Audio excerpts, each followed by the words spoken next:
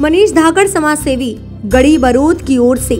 26 जनवरी गणतंत्र दिवस की सभी देशवासियों एवं जिले वासियों को हार्दिक शुभकामनाएं एवं बधाई